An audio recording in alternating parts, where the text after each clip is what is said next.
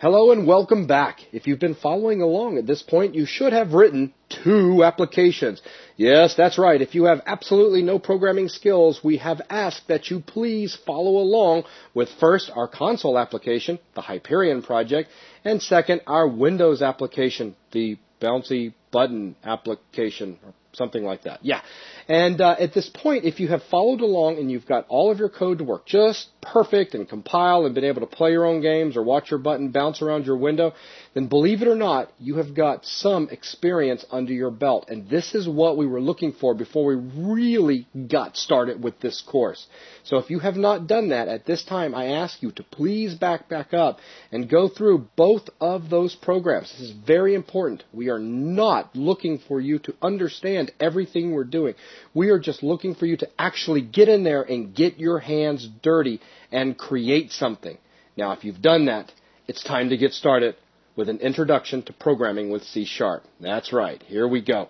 The first thing I'd like to do in this next section of videos is cover some general programming terms.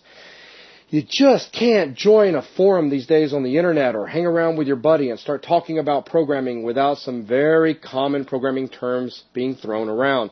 Such things as source code, compiling, functions, variables, data types, garbage collection, etc.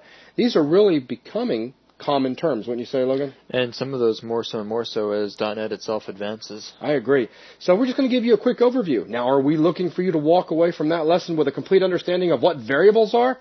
No. General understanding? Yeah. I'd like to be able to say we're going to use a variable and you guys have an idea of what we're going to do. Now, of course, we're going to have all of our variables lessons and we're going to get very specific, but as we continue to build in this course, these things are going to be drilled further and further into your head. Next, we're going to talk about what exactly C Sharp is. Everybody knows it's a programming language. At least you should by this point. But we're going to talk just a little bit more specific as for why it was created and what it's for. Moving on from there, we're going to talk about a basic overview of .NET because understanding what C Sharp is forces us into a position where we have to talk about .NET because of the heavy relationships between the two. From there, we're going to move over to the anatomy of a simple program. That's right, we're going to do yet another Hello World app, but this time we're not going to do it in Visual Studio 2005. We are going to jump out to a command prompt and we're going to use a simple text editor to create our application.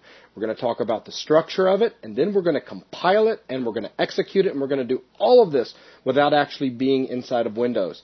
And this will help us give you a very generalized overview of what's going on when a program's created. And Logan, I believe you said earlier when we were talking about these lessons, you said it kind of takes all the magic away so that they don't think it's, well, all this visual studio stuff that's making it possible. Right. You'll be able to see things that are outlined when we talk about a language and then a compiler and then some more terms. You'll be able to see those terms as individual things, as in you'll be able to see an individual source file get handed to a specific compiler and an output be produced from that simple action. Precisely. Now, of course, we're not going to be using a generic text editor for writing all of our programs.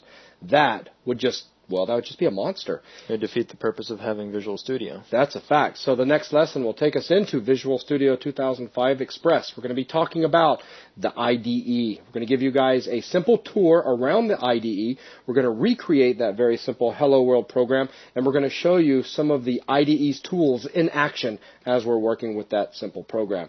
And then finally, we're going to wrap this section up with compiling and execution. We're going to give you an overview of what is happening under the hood after you have written your source files and you have said, build this solution. What actually happens?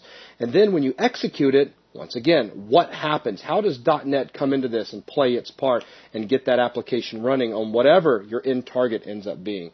So that is the goal of this section of videos, just to provide you with an introduction to programming with C Sharp. It's kind of the big picture. So with that, let's go and get started.